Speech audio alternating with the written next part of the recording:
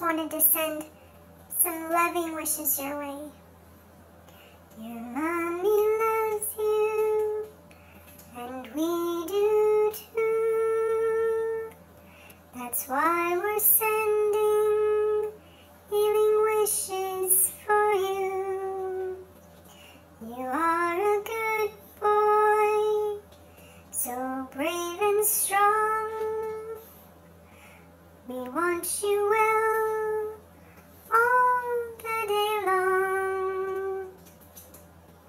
So Leon dear, recover soon. Your mommy loves you from here to the moon.